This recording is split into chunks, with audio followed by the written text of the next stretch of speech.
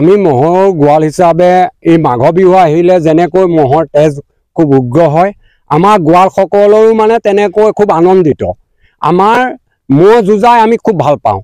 যিমান অসমৰ গোৱালসকল আছে ম'হ যুঁজ বুলি ক'লে আমি ম'হত থাকিও আমি আমি বেছি আনন্দিত। দেই ম'হৰ যুঁজটো আমাৰ পৰম্পৰা আমাৰ আহোম ৰজাৰ দিনৰ পৰাই আছিল ম'হ যুঁজ। সেইকাৰণে ম'হৰ যুঁজ আহিলে আমি আৰু এতিয়া আনন্দ আমি ক'ব নোৱাৰা মানে আনন্দৰ সীমা। অপাৰ যিহেতু মহযুঁজটো বন্ধ হৈ আছিল এইবাৰ চৰকাৰে যিহেতু হেৰি কৰিছে মহযুঁজটো পাতিব দিছে কি ক'ব এই মুহূৰ্তত আপোনালোকে? আমি চৰকাৰক পোনপ্ৰথমে আপোনালোকৰ নিউজ চেনেলক ধন্যবাদ জনাইছোঁ।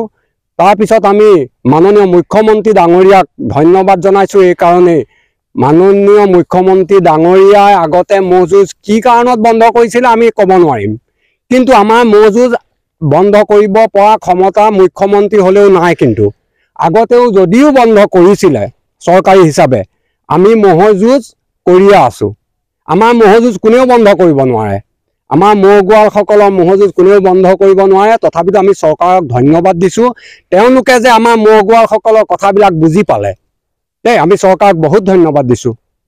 হয় মইতো এজন আপোনালোকৰ ঘৰৰ সদস্যৰ দৰে তেওঁ কিবা নাম ৰখা হৈছে আপোনালোক ম'হটোৰ নাম আমি আমাৰ মোহন আৰু মোহন বুলি মাতিলেই ম'হটো দৌৰি আহিব। ইয়াৰ এটা এইটো বৰ ডাঙৰ গুণ। ই আমাৰ ঘৰৰ সদস্যৰ নিচিনা।